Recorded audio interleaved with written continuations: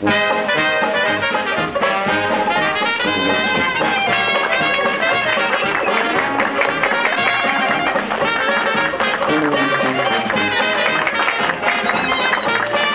your license shows no specifications for street shows, Mr. Mortensen. Oh, well, don't tell me our esteemed city attorney has dug up an ordinance against a little free entertainment. Well, Fat, you haven't given anything away for nothing in your entire career. Mr. Archer, well, here's two tickets to tonight's performance. Down front on the aisle. First thing a man in public office learns is take a present, owe a favor. Now, Fats, just keep the noise down, huh?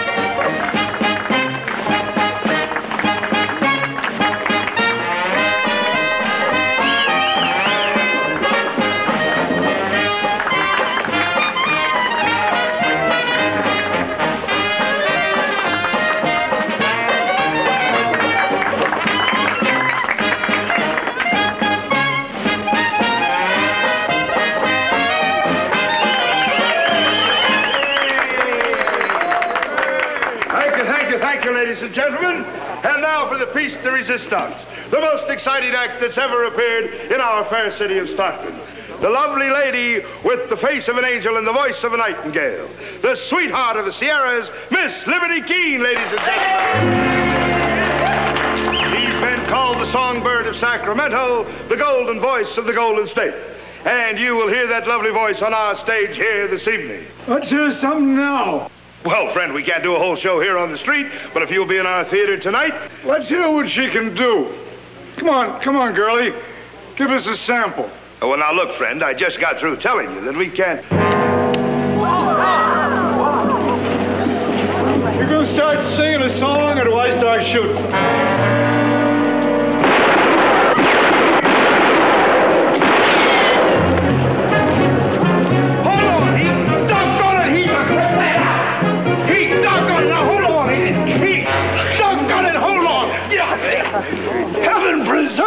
Preserve impetuous young fools. It's all right, folks. It's all right. It's all part of the act. Ladies and gentlemen, the great Ambrose, the man whose keen eye and steady hand has won him 53 medals from the crowned heads of Europe. And if you think that was sharpshooting, just wait till you see his performance on our stage tonight. Take them in, deputy. There was no real harm done, Mr. Archer. Fats here was just drumming up business for his new show. I know what he was doing. And you heard what I said. Well, I'm uh, gonna have to run in for this, Fats. Justice will triumph, ladies and gentlemen. Never fear, the curtain at Morton's Theater will go up at 8 o'clock sharp tonight. Round up your songbird and let's go.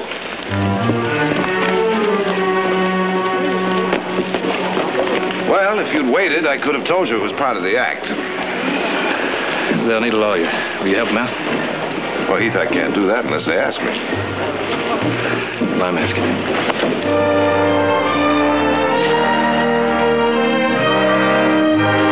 Punishable by a fine of $300. $300? Archer, you know I can't spare that kind of money. Well, it seems to me I have enough money to hire a very expensive legal counsel. Oh, well, uh, Mr. Mortensen and I have a little agreement. Best seats in the house for opening night, right?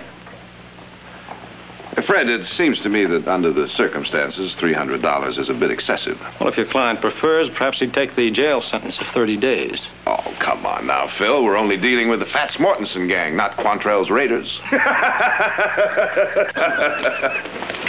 Is that the latest in San Francisco sophistication?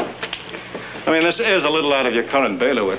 What is your interest here, Jared? Well, like any other citizen of Stockton, I think I'd be disappointed if the show didn't go on. So would I. What happened out there today could have caused serious trouble. Oh, settle down, Phil. Anybody hurt? Any damage done? It's besides the point. Wasn't anything to boil over about. Well, what do you want me to do? Ignore the entire incident because Jared Barkley is involved? Well, now it seems to me that the punishment ought to fit the crime. Fred, why don't we have Mr. Mortensen do a show at the orphanage as a condition of his release? Agreed, Fats? Well, fine, fine. All right, it's settled then. Now clear him out of here. Mr. Barkley, thank you very much. The tickets will be at the box office. Liberty, my dear? Now, it's apparent to me, Sheriff, that you and I have to reach some kind of understanding about our respective duties. Now, don't go puffing up like a turkey gobbler, Phil. You're fresh in your job, and I've had mine for ten years. I can see I'm going to have to cure your buck fever just like I did Jared's when he first took over your job. How well I remember. If you'd like to hear the sad story, I'll buy you a drink. To celebrate what? How the big time San Francisco attorney got the best of a small town lawyer? No, thank you. See you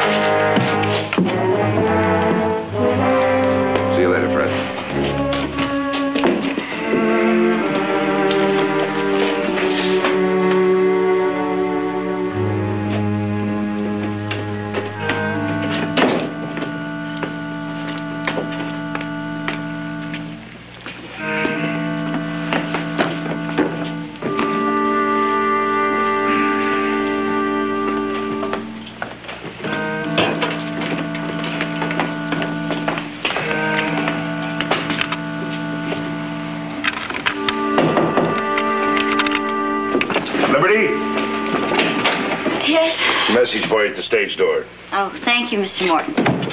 Oh, uh, you better get some food into him. All right.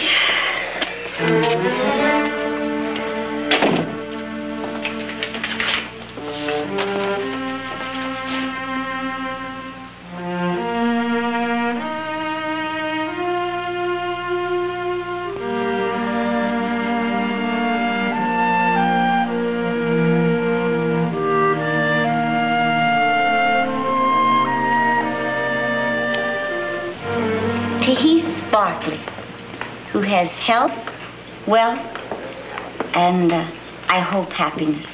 And to Liberty Keene, sweetheart of Strawberry and now of Stockton. You know, Heath, when I was a very little girl, Papa used to read me stories at night, and there was a book we both loved. It was about a, a poor ragamuffin boy who grew up to learn that he had great expectations. I'm very happy for you, Heath.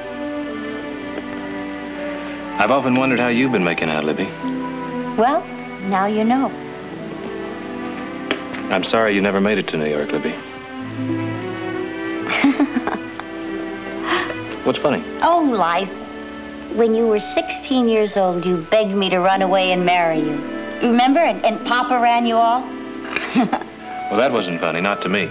Oh, nor to me.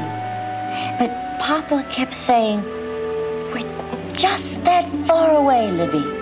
Just that far away from success. After Papa died, I went back to Strawberry to look for you. But it, uh, was too late. You'd already gone. I, I guess everything turns out for the best. Did it, Libby? Just think, if I had run off with you that summer, why, right now, you wouldn't be a dashing, eligible bachelor entertaining actresses with uh, champagne suppers. Well, I don't make a habit of it. The suppers or the proposals. I know that. Any other man would have arranged this whole supper just to show a girl what she what she missed. Not you. You're kind and concerned. It's almost as if you still cared a little. You don't stop caring about people just because you're separated. Heath, if only we could turn time back. If we could just be the way we used to be. But I I guess that isn't possible. But I I had tonight and I'll always be grateful for that. That sounds like you're saying goodbye. That's right. But why? Well, I'm not sure what time the saloons close here in Stockton, but when they do, the great Ambrose will come weaving his way back to the theater. And if I'm not there, And if you're not there, what? he'll either fall asleep in a drunken stupor or be waiting up for me in a wild, jealous rage. Well, does he have a right to be jealous? He's my husband.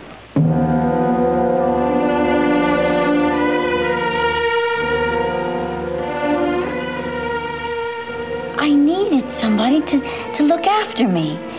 Don't you see? Like like Papa used to do. So I I settled for Ambrose. Just like everything else in my life, it went wrong. I ended up taking care of him. I'll take you back now, Libby.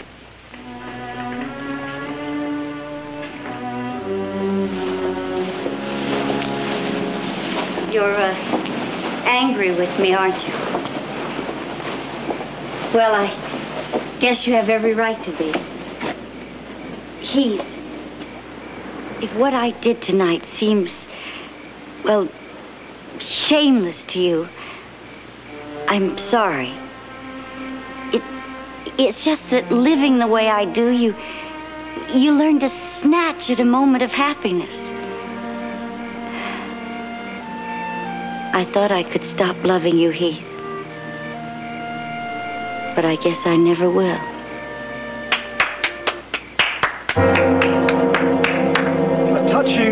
My dear. But then you've made a specialty of these scenes, haven't you? No, he's drunk. Not that drunk, my dear. Just remember what I told you I never kill. I never have to. I can place a bullet so that life isn't worth living. Goodbye, Heath. Libby, I can't let you. Oh, I'll be all right. After all, where else could he find such a willing target?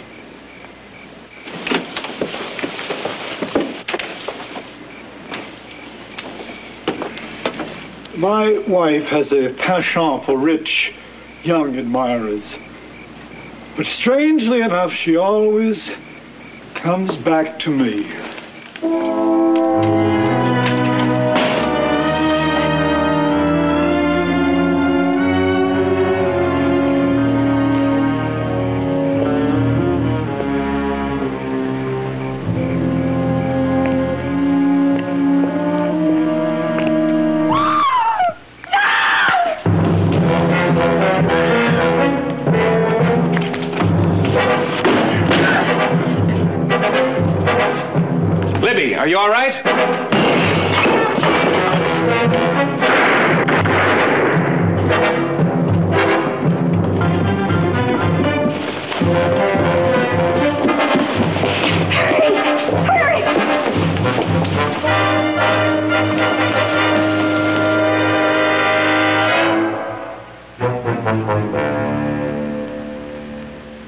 Killed him.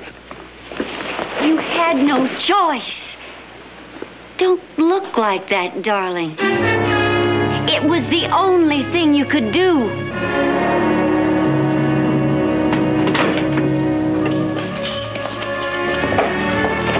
Come here. Well, well, Heath Barkley. What'd he do, rob the Frisco Mint? Shut up, Tedrow. Sheriff, now that this here's such a high-class jail, I'll be expecting a doily armor breakfast tray. I can't help this, Heath. Rules. When Jared gets here, ask him if he knows a smart lawyer. You won't be needing a smart lawyer. You can get away with murder just so long as your name's Barkley. You said you knew Heath Barkley in the mining camps. That's right. How well did you know him? I told you we grew up together. We were friends. Just friends?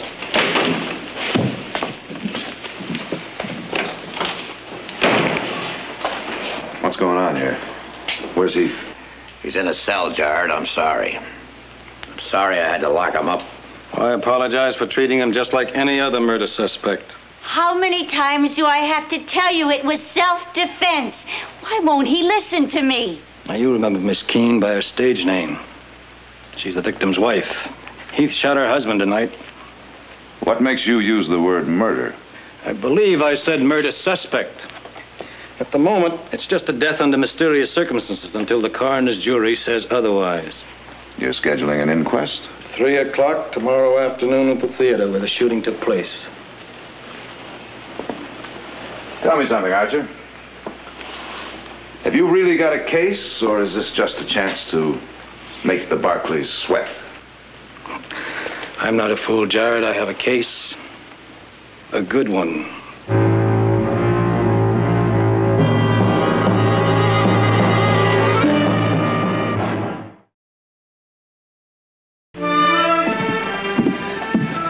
Because you bail me out of jail, you don't have to follow me around. What's the matter? You object to my company? I just want to see Liberty alone. Now, for appearance's sake, it would be a lot wiser for you to avoid any personal contact until after the Appearances inquest. be hanged. Now, I'm not letting Liberty face this alone.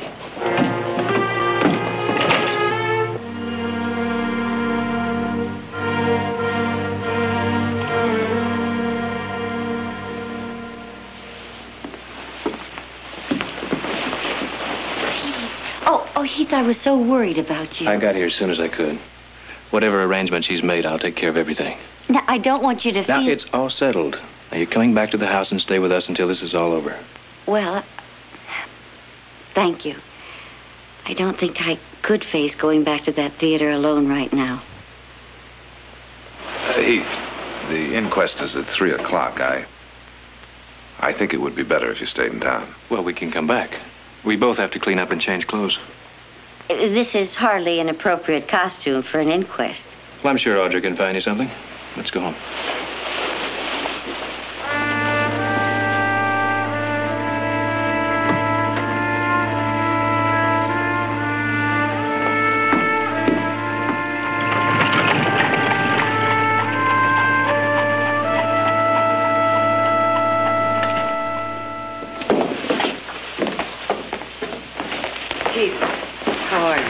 Fine, Mother. Is it all straightened out? I'll explain later. Mother, Audra, this is Liberty Keene. I'm very glad to know you. How do you do? How do you do?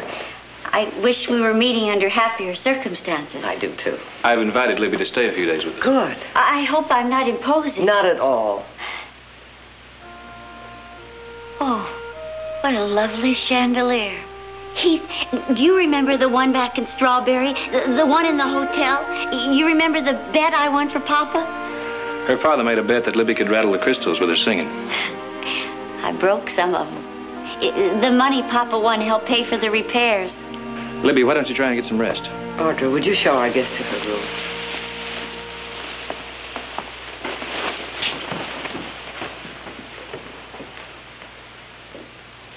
Come on, Heath. We got some talking to do.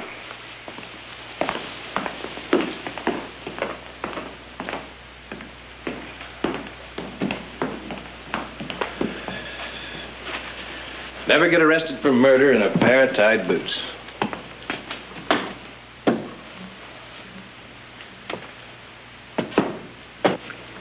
Well, Heath? Now, don't get that look. There's nothing to worry about. There's plenty to worry about. And the sooner you get that through your head, the better off you'll be. The great Ambrose tried to kill me. I shot him in self-defense. How many ways can I say it? And why does Phil Archer call it murder? How should I know? He's much too smart to try for an indictment without some pretty good evidence. Happened just like I told you. Now, let me see if I've got this straight. You and the victim's wife renewed an old love affair over a midnight supper at the Alhambra Club. It was never an affair. Then you returned her to the theater at a rather late hour and were confronted by her understandably angry husband. He was drunk, crazy jealous. Life with him must have been hell for her. A relationship nonetheless sanctified by marriage vows. Jared, is this necessary? I'm afraid it is. Now tell me again what happened in that alley. He made threats. She went inside. Threats against whom? Me. And in spite of those threats, you entered a dark theater and killed him. A professional marksman in a fair fight. Now, do you expect a jury to believe that? Jared, you've got it all wrong. Haven't I told the truth? It's the word you use. You expect the prosecutor to use nicer words? All right, all right, Jared. Now you've acted out the devil's advocate. Why? Surely you don't think Heath is guilty. Of course, I don't think he's guilty. Trouble is, how are we going to prove it? Well, I'll match Jared against that smug Jaybird Archer any day. Well, wake me in an hour, huh?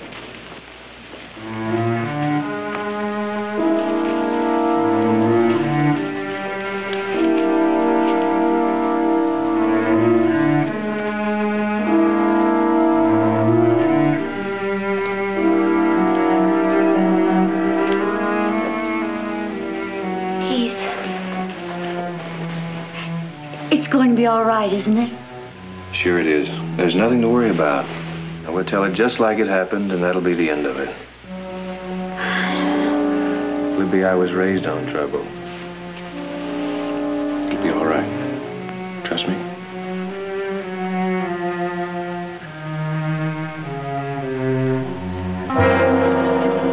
Read all about the murder. Read all about about the murder in the theater. Come and get your paper Willie, right now. Willie, you can't go on shouting about a murder. This can't rightfully be called a murder until a coroner's jury says a crime has been committed. Now, when they do that, then we can legally accuse a suspect. The day this town accuses a Barkley is the day the horn will sound judgment. Well, now, don't sell your fellow citizens short. They're honest men, and they'll hand down an honest verdict without fear or favor.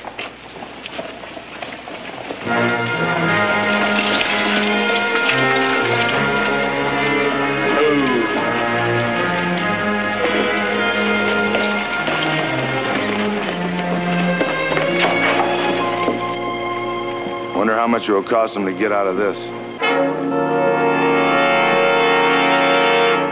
Heath was standing right there, right where you are, with a gun in his hand. Did he say anything? He said, I killed him. I killed him. That'll be all, Sheriff. Thank you. Unless you wish to bring forward any other facts pertinent to this murder.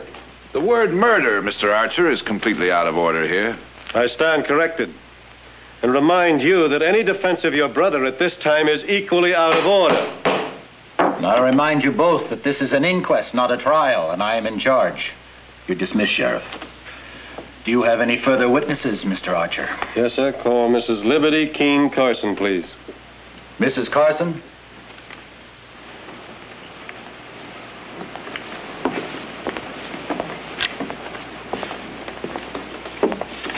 Place your hand on the book. Swear to tell the truth as you see it, so help you. I do.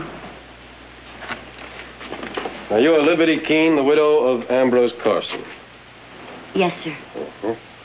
And the great Ambrose was billed as the world's finest pistol shot. Is that correct? That's right.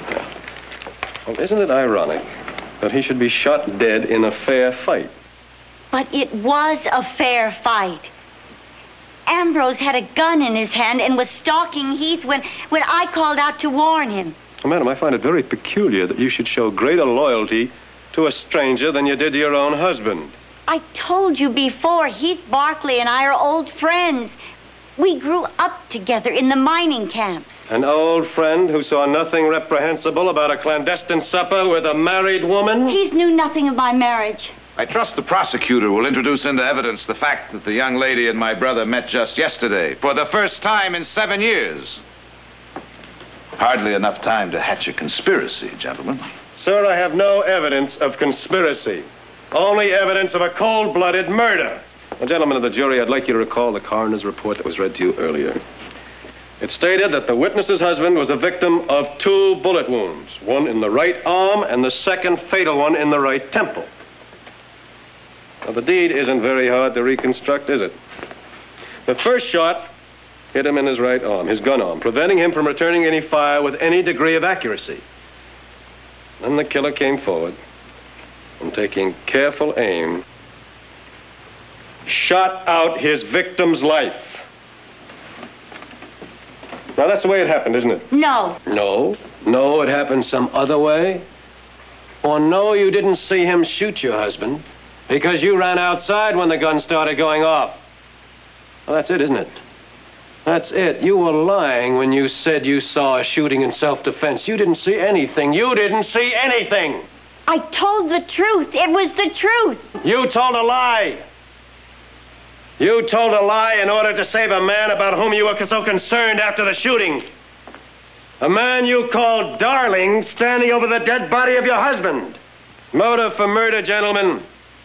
Lust for a beautiful woman. A motive as old as original sin.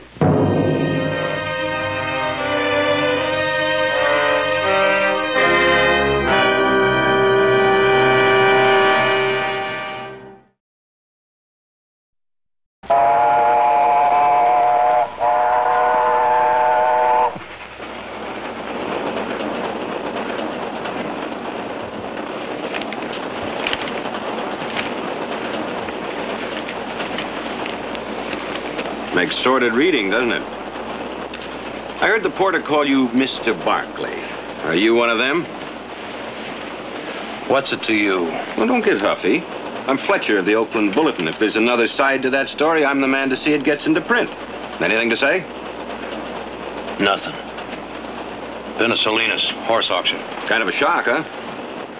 You might say that, yes. I guess right now you're wishing the old man's cold had never come out of the woods. Nobody says that about him to me. You better get used to it. You're gonna find people like a good scandal, Barkley. And when the mud's on you rich ones, they like it twice as much.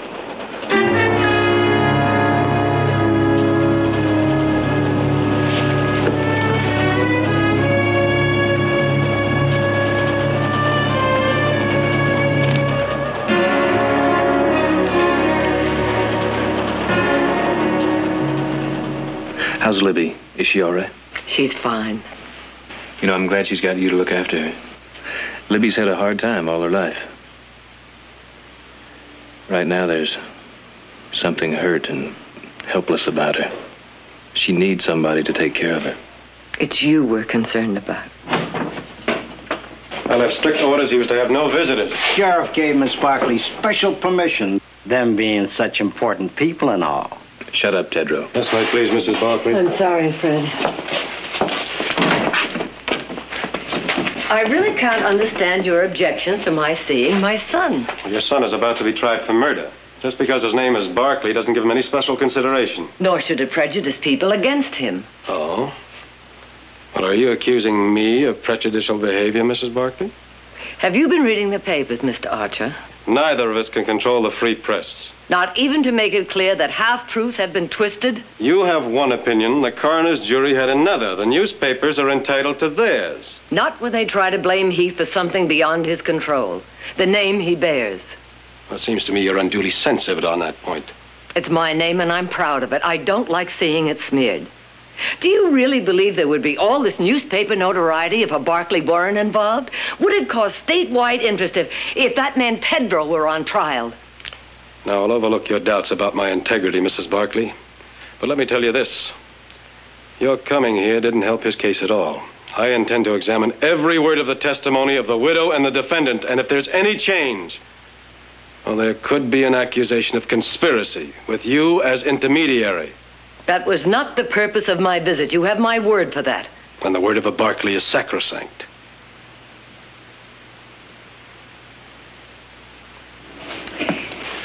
There's only one step from envy to hate, Mr. Archer. And I think you've already taken it.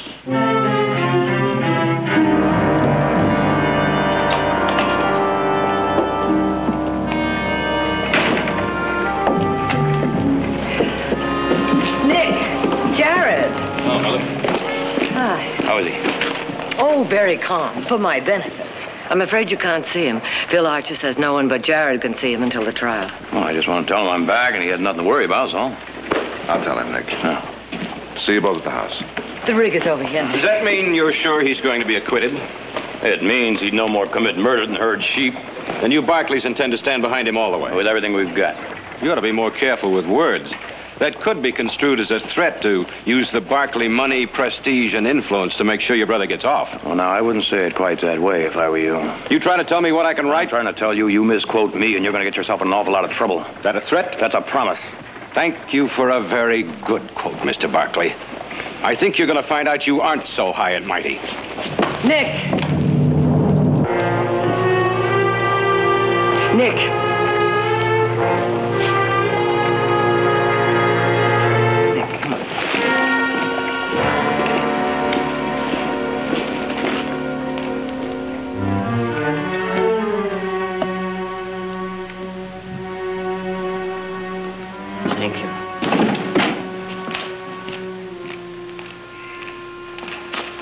Suggest you pour yourself a drink, Nick. I guarantee you you're going to need it. Oh? Why? We have our name in the paper.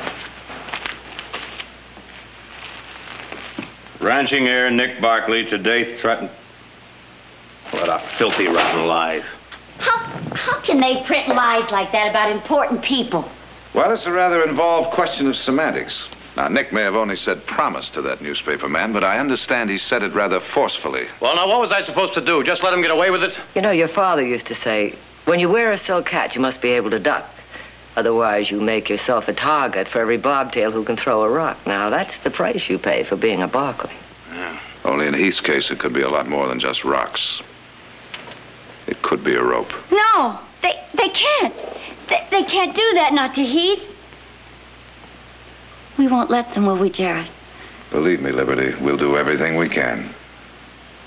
Jared. Jared, you have got to make them listen. You've, you've got to make them understand how he was. He, he was cold and cruel and, and insanely jealous. If only I hadn't gone to see Heath that night. It, if, if I hadn't screamed after Ambrose hit me. That's why he came back. To help me. Now we've got to find a way to help him.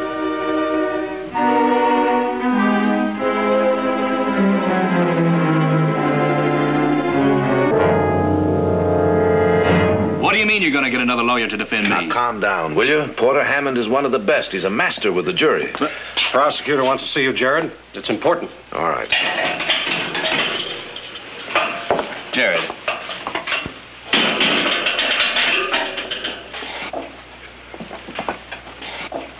We don't need another lawyer. I think we do. Public opinion is running against us. We need somebody outside the family. No. I put my money on you, and it's staying on you. Hammond is on his way over here. I'm starting to feel sorry for you. He's trying to back out. Maybe you ain't such a member of the family as you thought. I wouldn't have believed it of you, Jared. I wouldn't have believed you've been so stupid. He had nothing to do with it. I told you that. Nothing to do with what?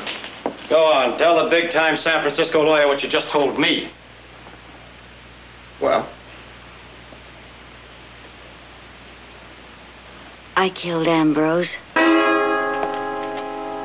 doesn't that surprise you, Barkley? Archer thinks you put her up to it. Figuring a jury would go easier on a pretty woman. well, Liberty. If you're telling the truth, that means that Heath is lying, doesn't it? He must be taking the blame for you. Heath knew nothing about it. The theater was dark. He, he didn't see me fire the shot. With the what? With a gun you just happened to have in your hand? The gun case was on the table. Ambrose had one. I used the other. And you claim that in the dark, with all those bullets flying around, yours was the one that killed him? I'm a very good shot. Really? Sheriff, let me have your pistol. We'll check and see how well Mr. Barkley has coached you. Don't push me too far, Phil. I don't need her to win this case, and you know it. Well, just in case you're tempted, we'll put her to the test. Look, that wanted poster up on the wall, the man in the poster. Go ahead, shoot him. Now, were your hands shaking that much that night? Go ahead, it's dark. The guns are going off. Show us how you hit him. Go ahead. Go ahead, you don't have the time now. Go ahead and shoot. All right. You realize you might have gone to prison if your ability to handle a gun had been any better? You lied here, and you'll lie on the stand.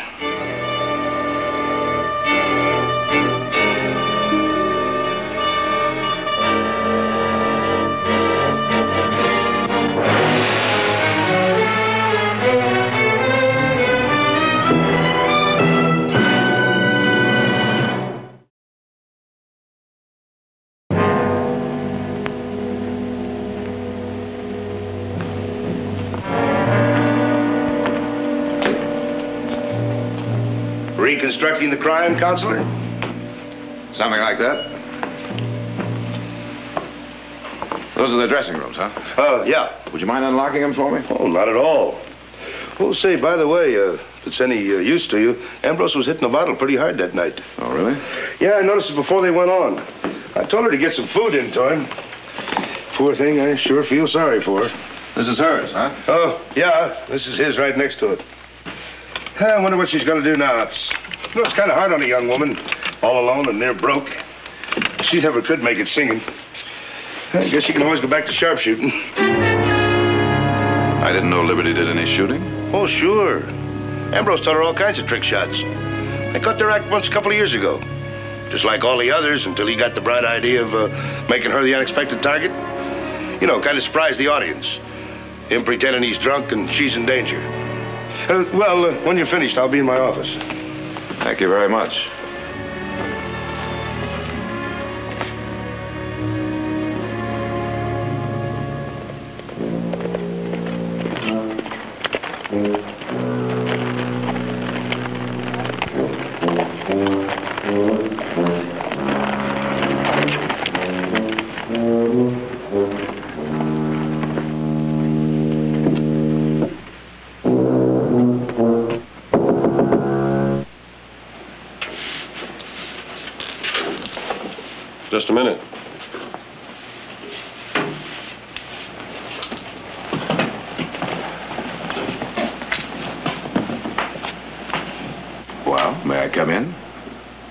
Something that can't be taken care of at the office?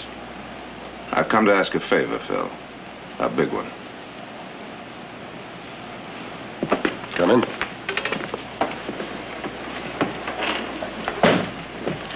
Sit down. I didn't know you still paid the tuba, Phil. Why should you know? We haven't traveled in the same circle since we were in law school together. Seems to me we were friends then. People and water, they both seek their own level. What is the favor, Jared? Phil, I want you to consider, just for the sake of argument, the possibility that Liberty might have been telling the truth yesterday. You know, I figured you were bluffing when you said you didn't need her to win your case. She said she was a good shot. Yeah, well, you saw how good. Good enough to be part of the act at one time. Then how do you explain what happened yesterday? Nervousness, cold feet, or possibly the expert way you drove at her. At any rate, she was at the scene of the crime, and I'm convinced she had a reason for wanting Ambrose dead. Speculation. There's no way to prove that. But there is. We can compare the death bullet with a bullet fired from Heath's gun. How? The bullet was never removed. Why not? Well, Heath was found standing over a dead man with a gun in his hand. He confessed to the killing. There was no need to mutilate the body. Phil, I want to see those bullets. I want you to agree to an order of exhumation. That's the favor. He's buried in the churchyard. That's consecrated ground. I know that, but there's legal precedent. It was ordered in San Francisco three months ago. But this is not San Francisco. Here in Stockton, the dead have a right to sleep undisturbed. What's more important, Phil? Respect for the dead or justice for the living?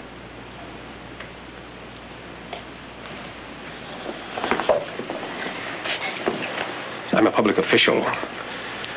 Now, that's very important to me. I've worked very hard for a very long time. May I ask what that has to do with it? Well, I wouldn't expect a successful big city lawyer to understand. I'm only interested in justice, equal justice. What is it you resent, Phil? The fact that I didn't have to work as hard for success as you did? Don't be ridiculous. Then why are you out to get Heath? Why do you refuse to even consider the possibility that he may be innocent? Because he is guilty. And none of your courtroom magic can cheat justice. You know something? You're infected. Infected with the same blind rich man, poor man prejudice that's spreading all through this town. Or are you the source of it? Get out of here. Go on, get out.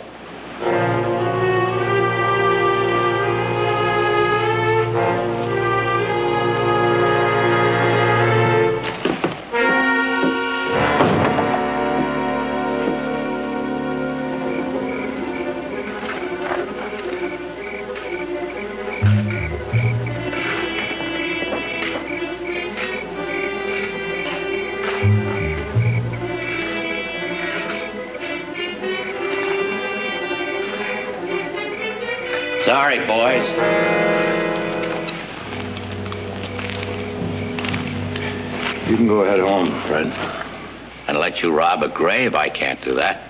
We've got permission. Not from Archer.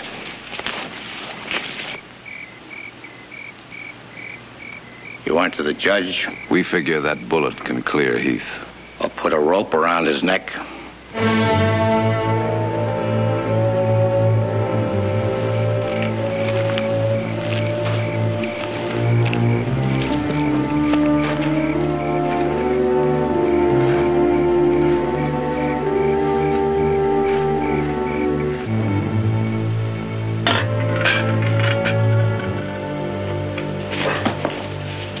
Expect this kind of cooperation, Phil. I want to thank you.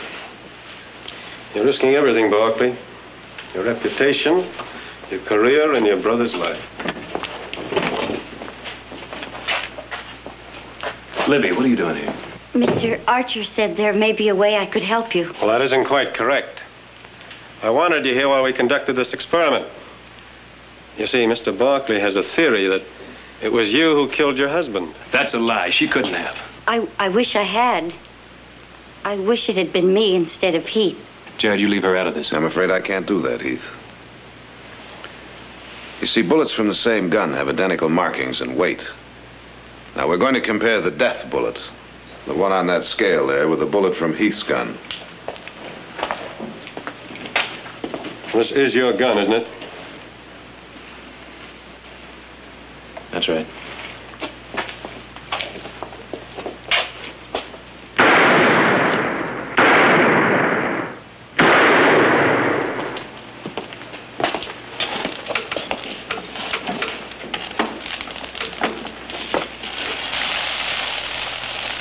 They are, Phil. Well, this scale is from the assay department of the bank. It's completely accurate.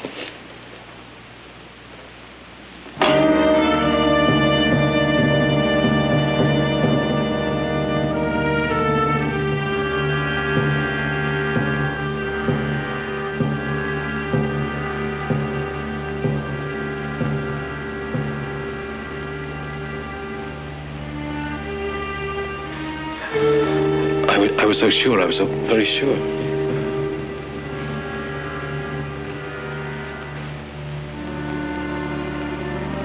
I I had to kill him. I had to. I, I was afraid for Heath. Ambrose would have killed him. It would have been my fault. All my fault. You didn't have to kill him to prevent that. You're an expert shot, Liberty. Despite that deceptive exhibition you put on here, you could have placed this bullet anywhere you wanted. You wanted him dead.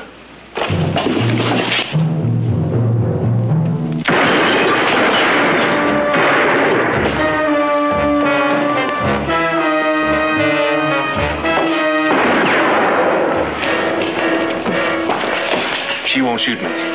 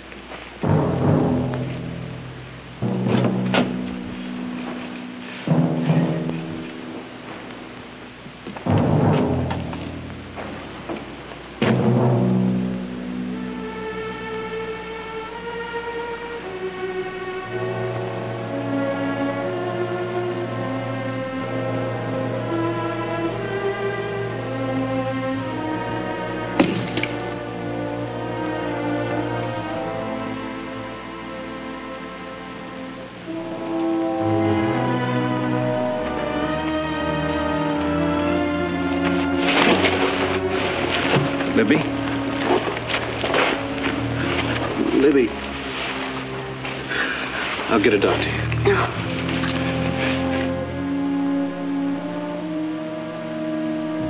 Don't try to talk. I have to talk. I have to make you understand. I, I never wanted to hurt you, Heath. I, I never thought you'd go to trial. Thought the Barkleys were too important. There's no need to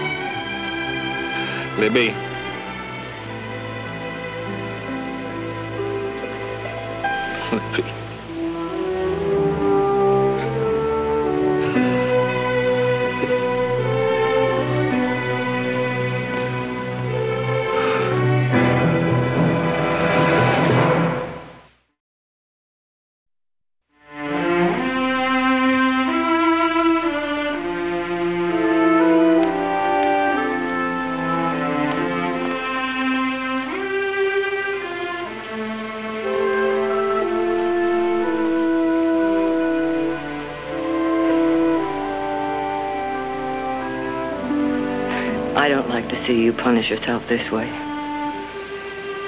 They're both dead.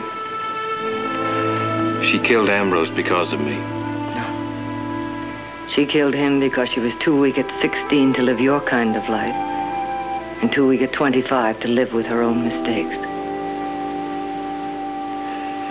I keep remembering when we were kids. All of the things she wanted. And all her life, they were just out of reach. That far away.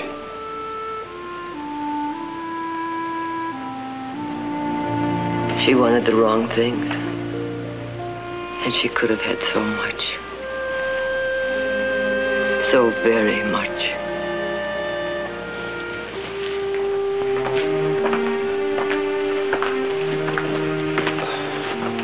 I've come to apologize. You were right about me. It was a personal resentment of you, of your success, and your way with people. Oh, if either of you want further satisfaction, we can go out behind the barn. Well, what do you think, Heath? Down by Snyder's Creek? Well, since there isn't going to be any trial tomorrow, we can see if the fish are biting. Everything that happened. If it'll make you feel any better, Phil, you can dig the worms.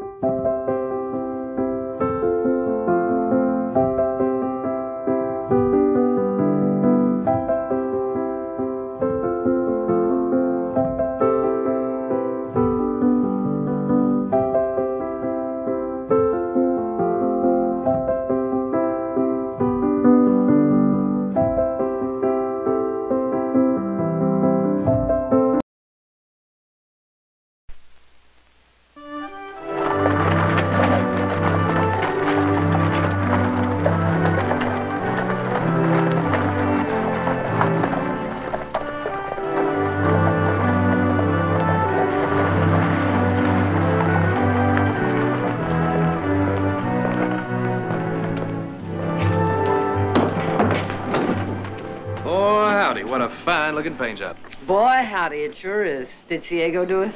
Come think of it, I did. Oh, come to think of it. Well, I knew I'd be riding with a beautiful lady on a fine spring day. Couldn't have a wagon that wasn't fitting. Well, well, going someplace? And you didn't forget my fishing tackle. Wrap safely in that rug. Ah, you think of everything.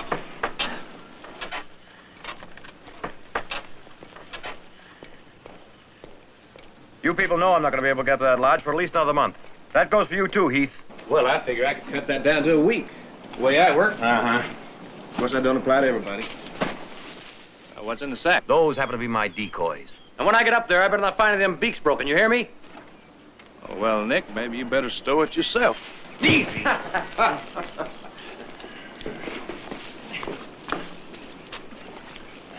all this could have waited for another week or two. We have all that spring plowing to do, Mother. I know, but the thaw came early, and I thought it would be nice to get the house open, just in case you could get up there. Mm, well, I might be able to fit it in one day, but, but no more. How soon?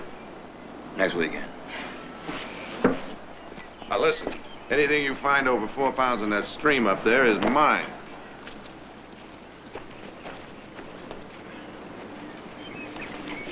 Tell Audra I'll be back in plenty of time to help her with a new dress. All right. All set? See you. Yeah.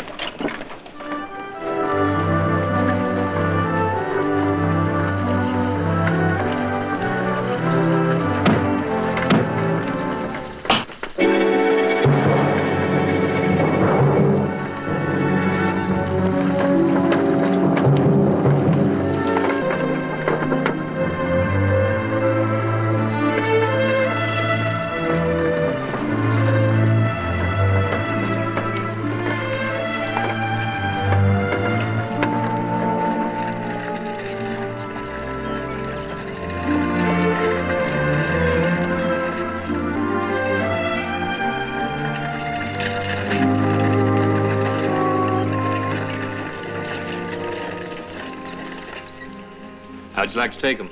I've just been waiting for you to ask. Ah!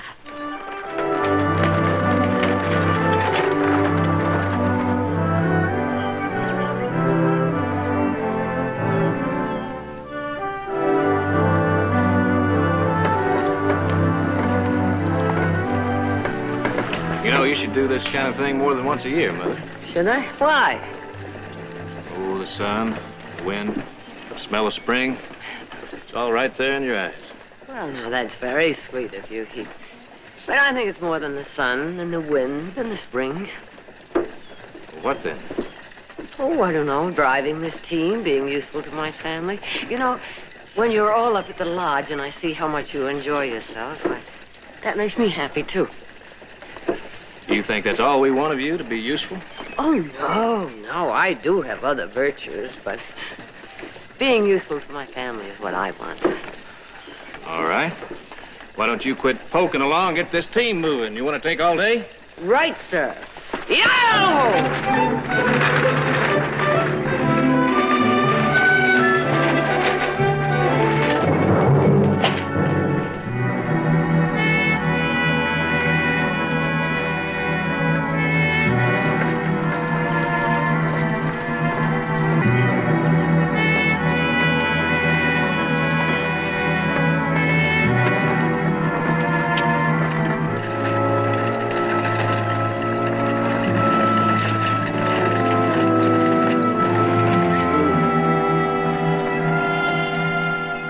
Was sure the roads would be dried by now. Well, we could have gone by way of Calaveras Pass, but I reckon it's just as bad this time of year. Well. Go!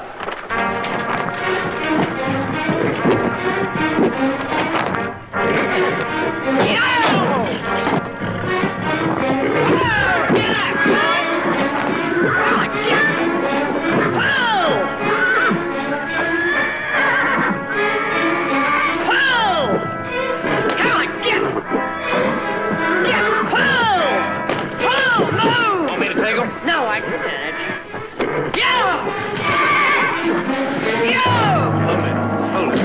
oh boy.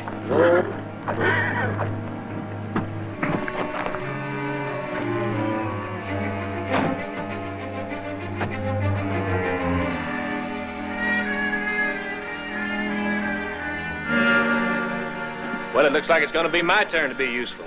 When I tell you, whip them up and keep moving. Right. Now!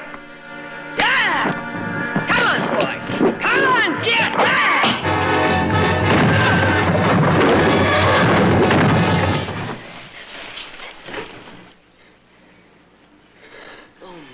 God.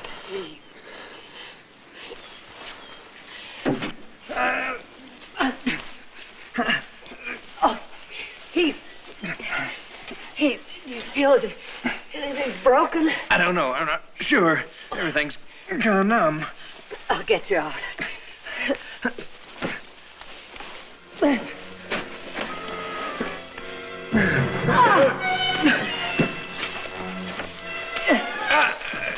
can't lift it. It's too heavy.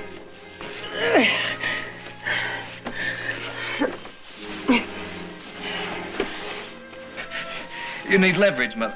You gotta have leverage.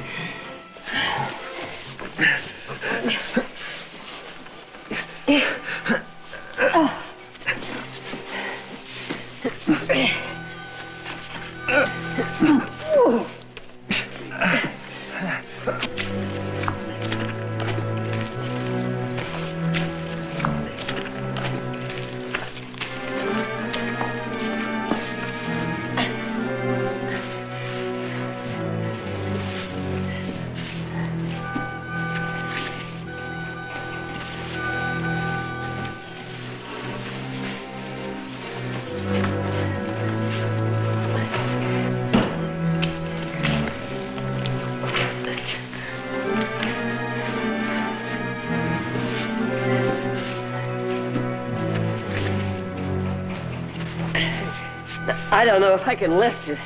If I can, it will only be an inch or two. That'll be enough, Mother. Oh! Oh!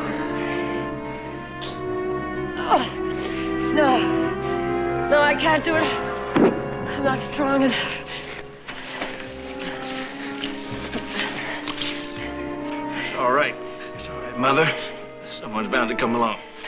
Couldn't I have waited? I should have known the trails wouldn't be dry enough. Mother, don't. Listen, there's some there's some rope in the driver's box. You can loop it around the wagon and up around that that tree and get one of the horses to pull. All right, I'll try.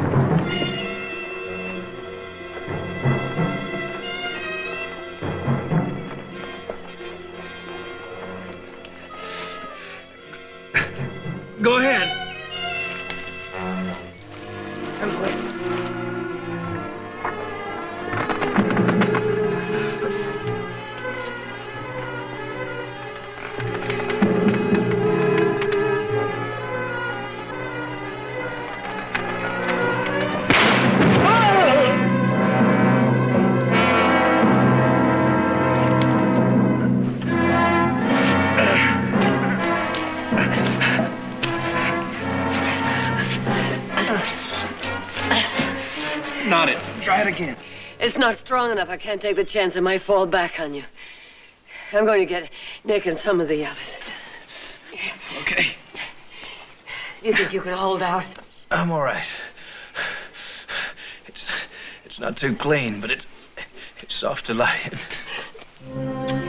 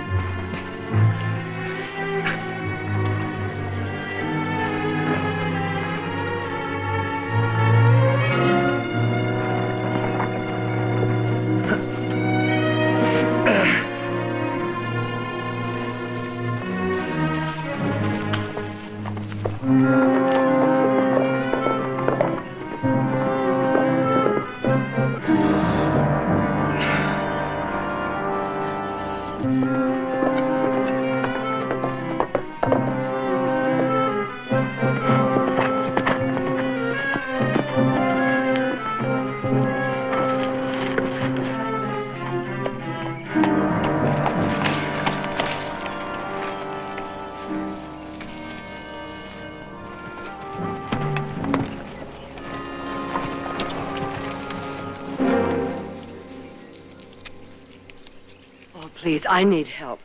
Our wagon broke an axle and turned over. My son is underneath it. Please, we have to hurry.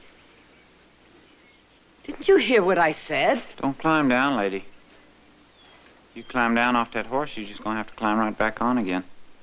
You mean you're not going to help me? That's right. I'm not your man. You're gonna have to get somebody else. But it would take hours for me to get home. It'll be dark soon, and... But didn't you hear what I said? My son is underneath that wagon. His legs may be... Lady, if I was in a hurry, I wouldn't waste no more time around here. You mean you actually refuse to help me? That's right. Well, all I need is for you to help me lift the wagon. It, it's only a few miles back. I think I made myself clear. I ain't gonna help you.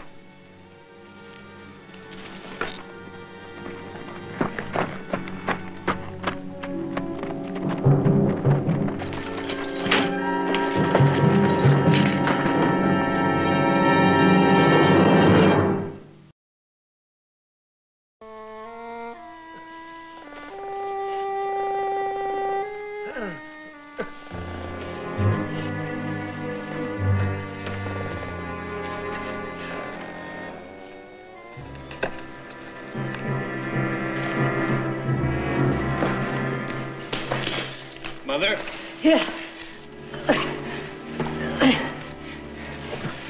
Oh, Yeah, it's it's sinking.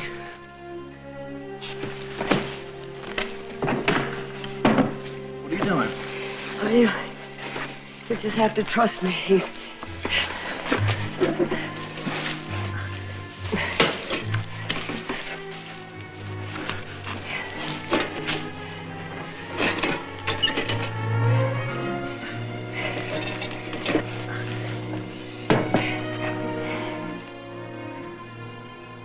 Gets dark before I get back.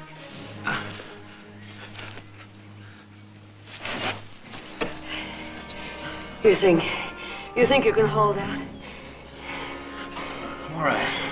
I'll be back with help.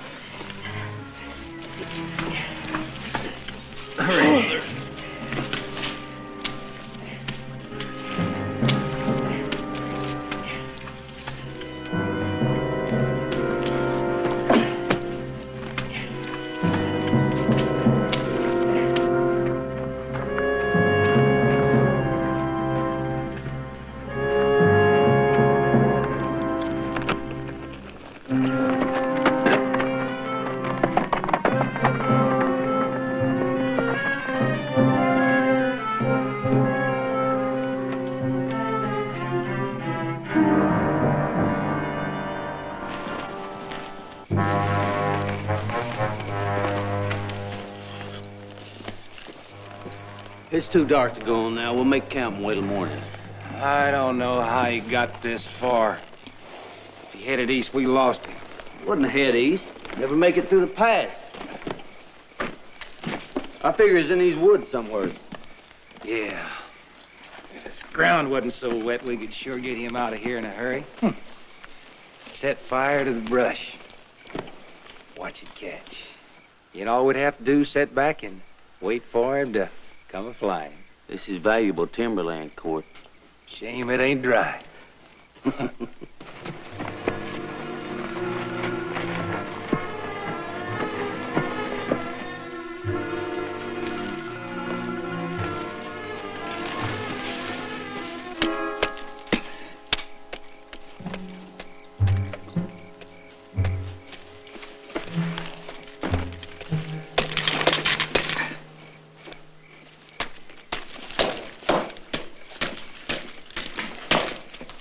Or now I understand. I still need your help. Don't come any closer. Lady, if you shoot me, you're going to be just as far from help as you are right now. I don't think I'm going to have to do that. A man who would risk his life escaping from a chain gang is too eager to go on living to let himself be shot for any other reason. And you'd do that? Oh, the way I'd shoot a mad dog. Well, I sure ain't going to argue with that. I don't want to stay in this game too much.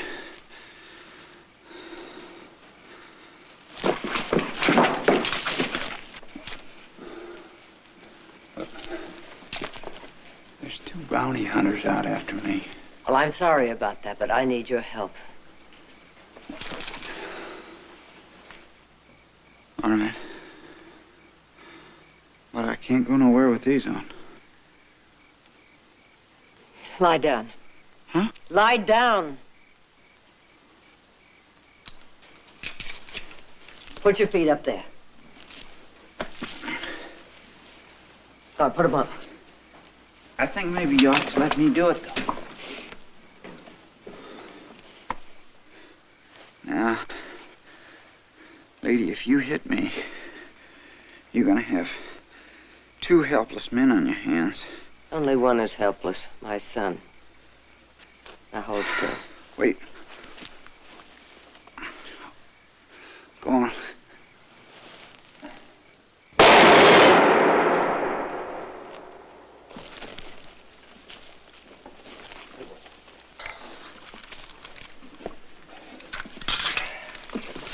Thank you.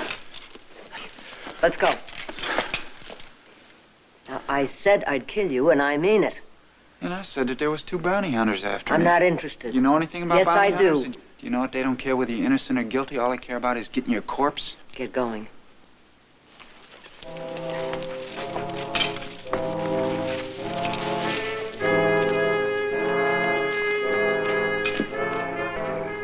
Whatever you're thinking, forget it.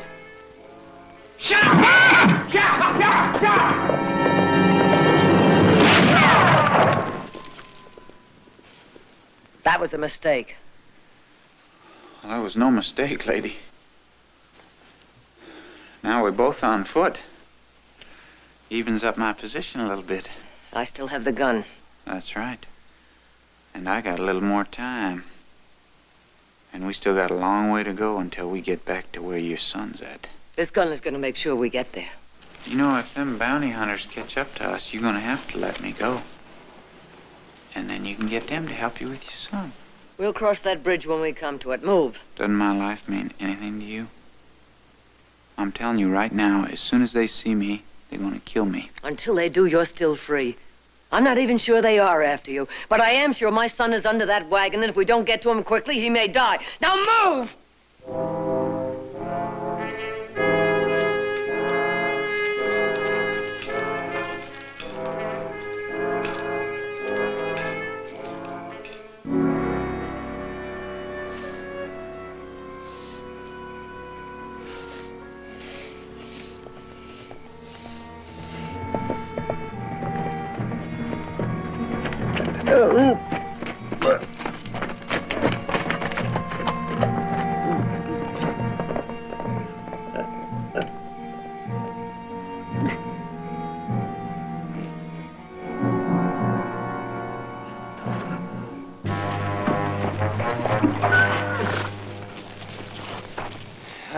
Might stand a better chance of catching him in these woods if we split up. Uh huh. And if you catch him, you don't have to split the reward. Is that it? We stay together. you, uh, you don't trust me much, do you? Nope. No more than you trust me. Yeah. Slow down! I said slow down! What's the matter? Pace too fast for you? I'm just trying to pick up a little time. I'll get away what you want. It'd be pretty hard to do with my ankle swelling up like this. Yeah, but you'll keep trying. That's right. How far is it? No more than a mile. You better hope it ain't no further than a mile. It's gonna be the longest mile you ever walked in your life. Go on. One eye on the trail and one eye on me. Come on, come on. And all your thoughts on your son there. Underneath that wagon. waiting for his mama to come back to get him. I bet he really dotes on you. In fact, I bet he'd much rather spend his evenings with his mama than go out with the boys. Ain't that right? Matter of fact, I'll bet you make him think he's just about the most wonderful thing. in You know nothing about him. I don't need to know anything about him. All I need to know is his mama. How old is he? About your age. Well, then that makes us just about the same. Only difference being that I'm wanted for murder. That's right. Harry Dixon. Professional gambler. There's a $500 reward for me. Wanted dead or alive. There's a wanted poster on me in every town in this county. I need the rest. All this walking isn't doing my foot any good. Now that poster gives me the legal right to kill you, which I'll do if you keep us here any longer. Then you wouldn't be any better than them bounty hunters because you'd be killing an innocent man. Now get on your feet. Move!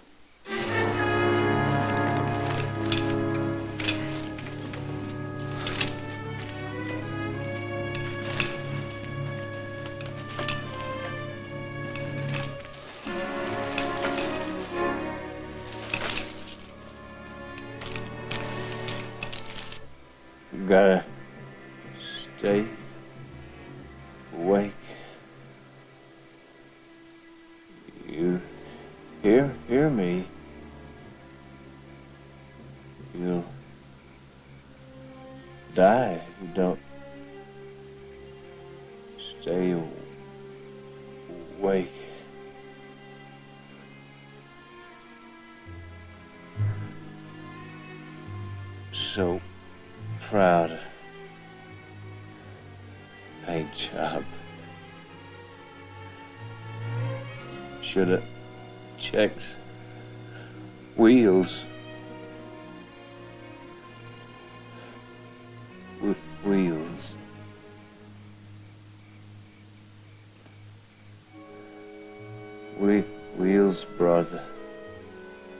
settlers across the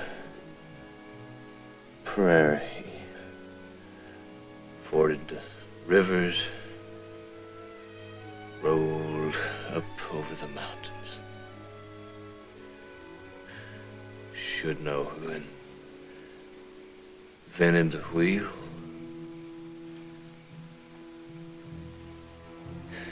E-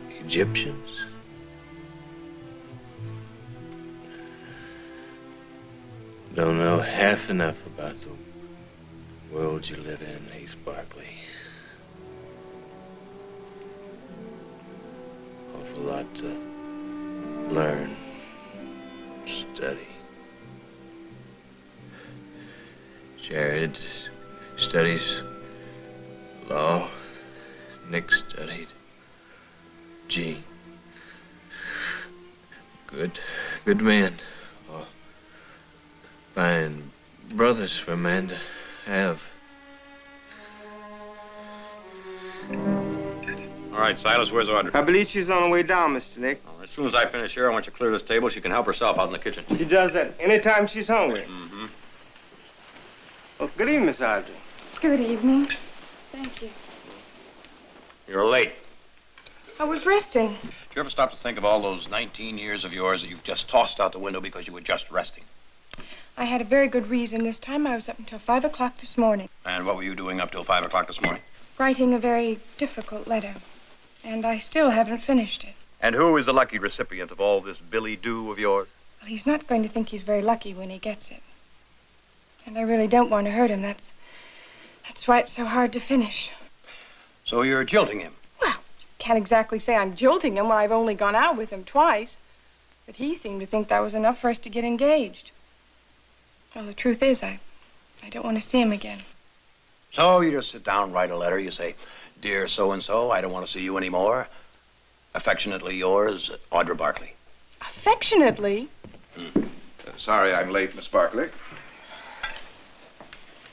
Well, I didn't hear you say anything to Jared about being late. Say, Nick, I was talking to the sheriff. He mentioned that there's an escaped killer on the loose. Oh, where? Well, he broke out of Tamarack jail. He's supposed to be heading east. Tamarack. That's up by the lodge, isn't it? That's right.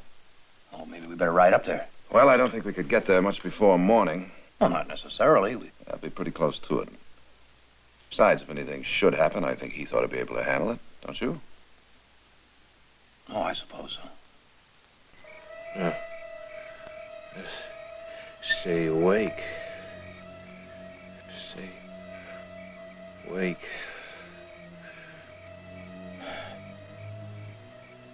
Mine eyes have seen the glory of the coming of the Lord.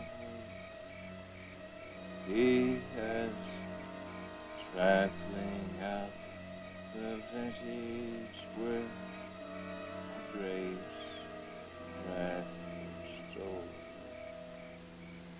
He has loosed the faithful life of his terrible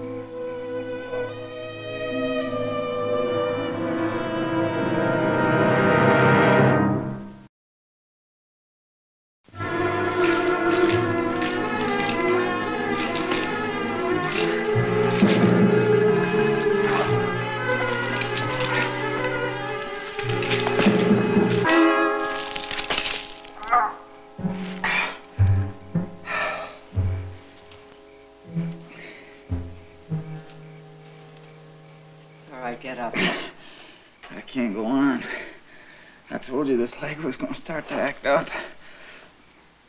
Oh. Look here at the ankle iron. It was loose when we started. Look at it now. I've looked and you can still walk, and when you can't, you'll crawl. Now get on your feet.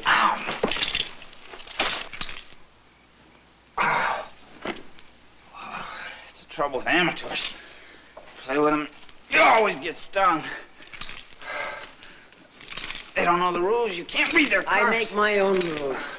If you want to go on living, don't try anything.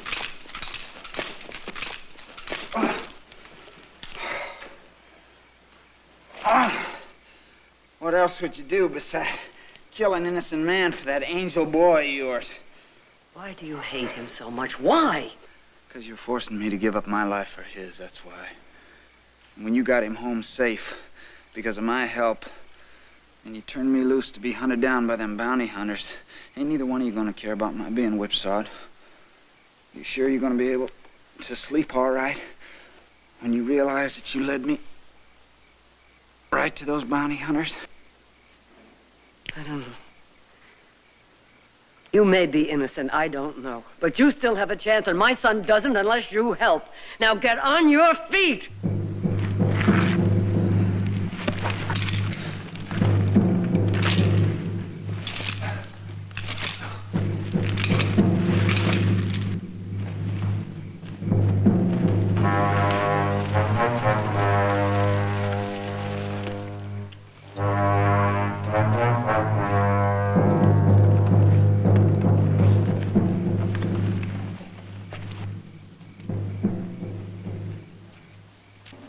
Saddle horse. He's had harness on him.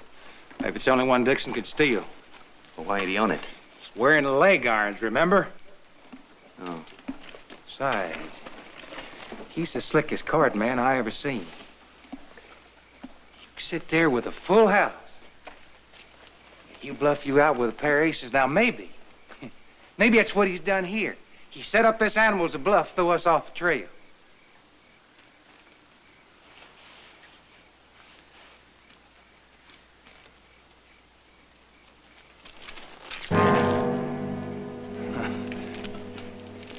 Looks like he was shot off, don't it? If he's carrying a gun, we ain't gonna take no chances. We shoot him on sight. Did we ever plan to do anything different?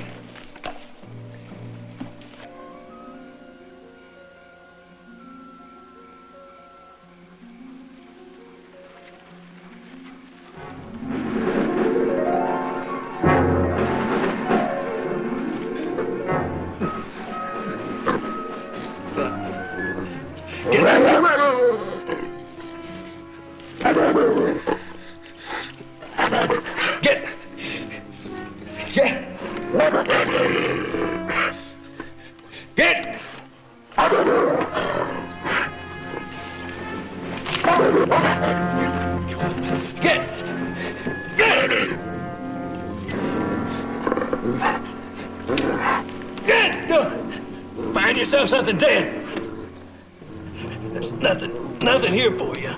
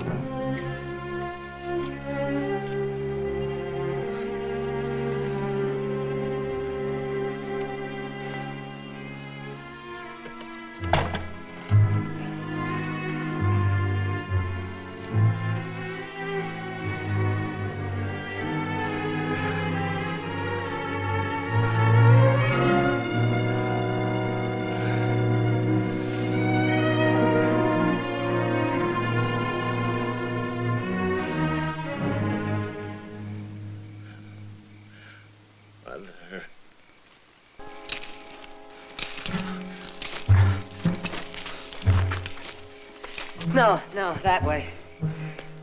You sure? I'm sure. You know, we'd be going around in circles. In that case, your boys. Shut probably- up and keep moving.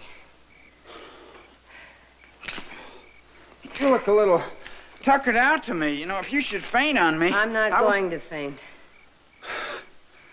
You must have been one of them pioneer mothers. One of them kind that fed the kids and drove the wagon and shot off the Indians and helped her man build his shack out in the wilderness. You talk too much, Mr. Dixon. Save your breath. Mr. Dixon. That's the first time anybody's been that polite to me in a long time.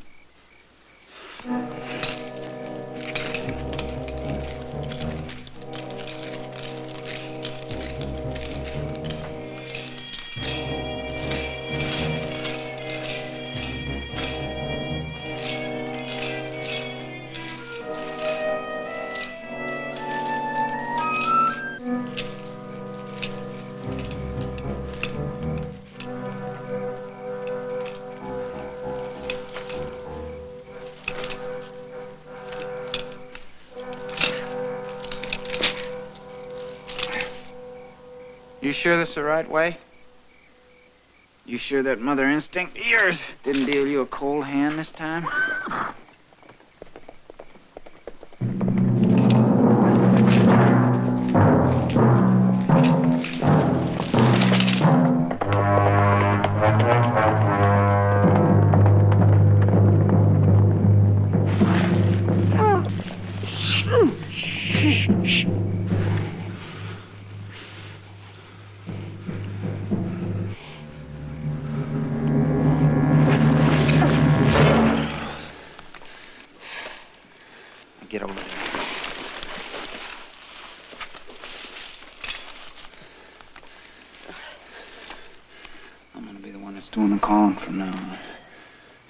Loaded, I know it. One sound out of you is gonna be the last noise you ever make. I give you my word. I won't say anything to those men if they find me. One look at you and they'd know that you're lying. Now we're gonna stay right here until I know that they ain't gonna come back. And then you can go. You may have been innocent before, but you're not anymore. You deserve whatever those men do to you. If they catch me, which they ain't gonna do. I don't have to sit here and prove to you that I'm innocent. But I am. They don't put a price on a man's head without good reason. Man makes his living gambling ain't gonna be believed when there's a bunch of witnesses around to lie about what happened. That's the first time and the only time in my life that I ever killed anybody. It all happened so fast. I couldn't help myself. But it was in self-defense. You don't believe that, do you? Do you?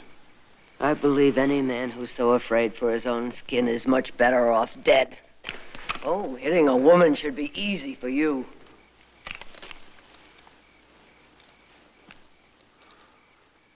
You don't know much about bounty hunters, do you? I've sat at tables with them and I've taken their money. Squashing out a man's life is just as easy to them as stacking a deck. Are you any different? I trimmed a few pigeons that night, that's all. And then they followed me outside after the game, and they tried to get their money back with guns. And I had to shoot a man before he shot me. And that's what happened. And then they all jumped on me, and they took their money back, and they went and they got the sheriff, and they brought him back, and they said that I had stolen their money.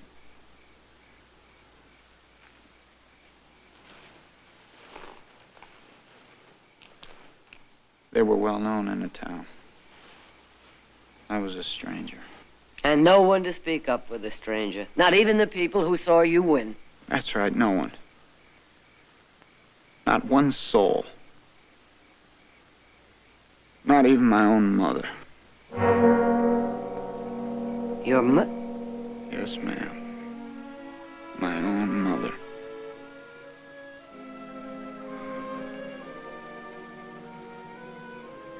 She must have been an awful lot like you are at one time.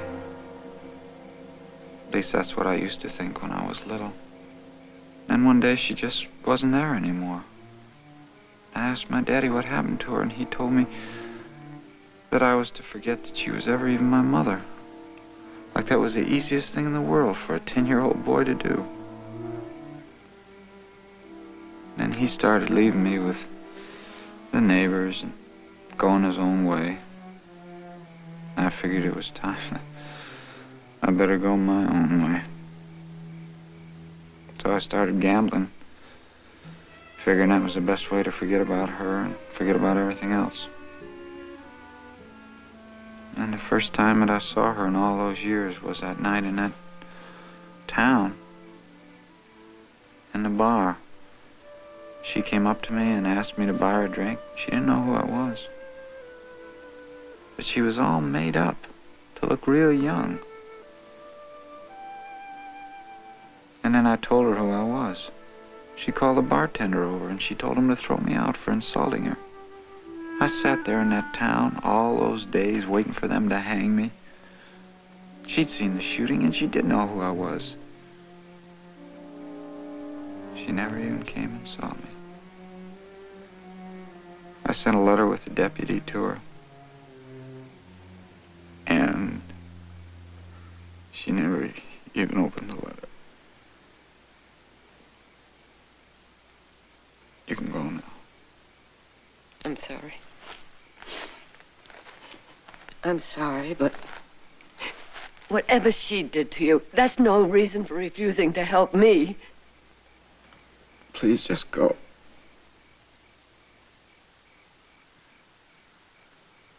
Oh, you feel sorry for yourself, don't you?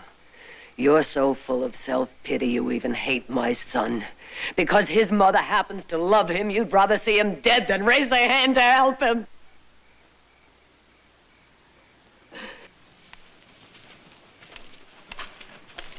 Wait. It can't be a whole lot further.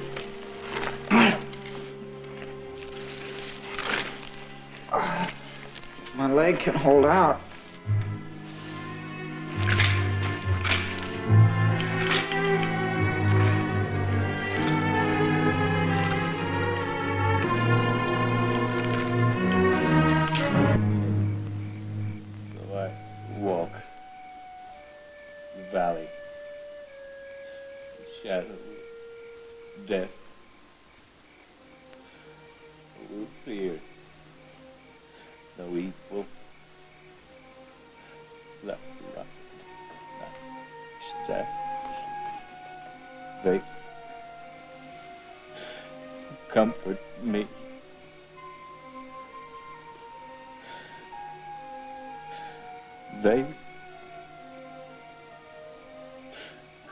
Comfort me.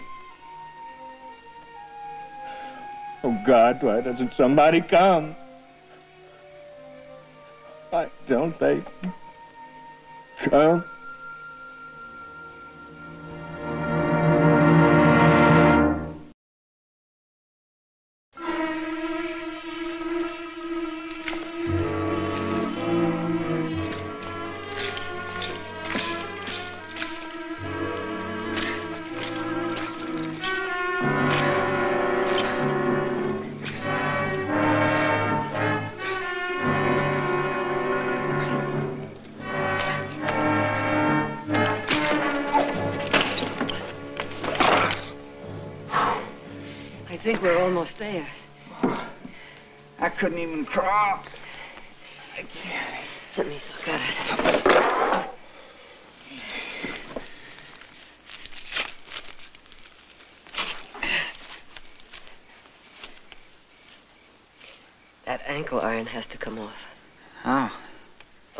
Would break the rivet. yeah, but that'd bring back the bounty hunters. That's how they got on my trail in the first place, was hearing that shooting. I seem to remember a stream. I don't think it's very far away. The cold water would help the swelling go down. Come on, Mr. Dixon. Lean on me. Lean on you? It's about time you learned how to lean on a woman. Come on. You won't throw in your cards, will you?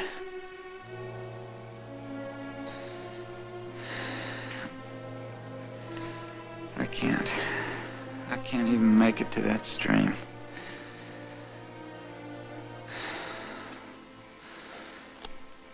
No clouds in the sky at all. It'd be too much to hope for a clap of thunder right now to cover the sound of this.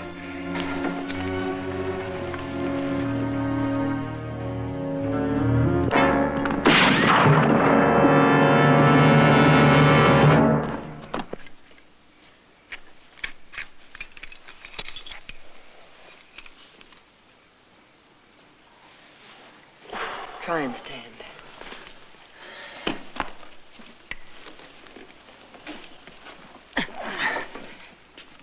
I think I'll be all right. I can get some circulation in it.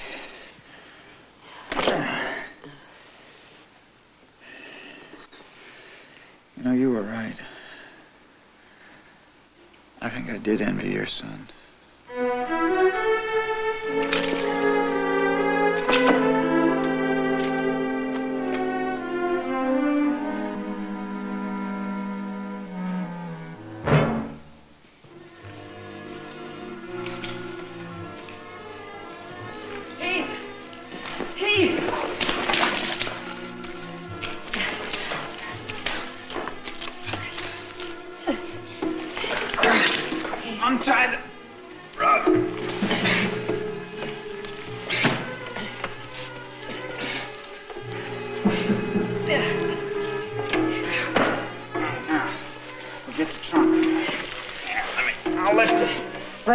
Right there.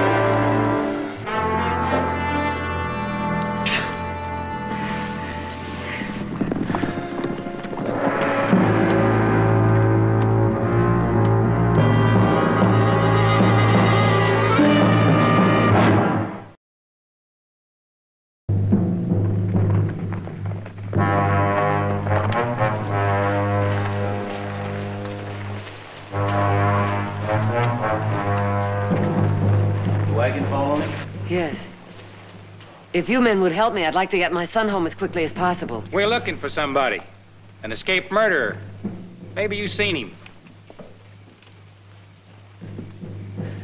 No, I haven't seen anybody like that. Did you hear some shots? Yes, I heard them. Was they close by? Well, I was too busy to pay any attention to it. Is that your horse up in the woods? Uh-huh. If you men would please help me. Like I said, lady, we're looking for a murder, and I don't leave much time to fool around with anything else. Let's go.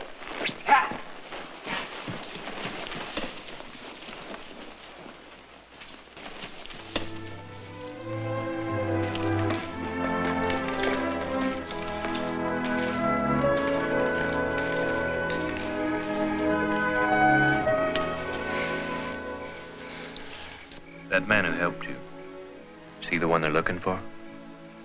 An escaped murderer? I don't think so.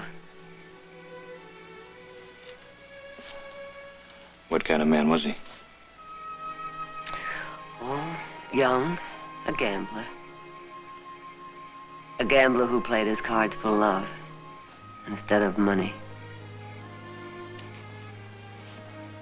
I don't understand. You will. When I get you home, I'll tell you all about him.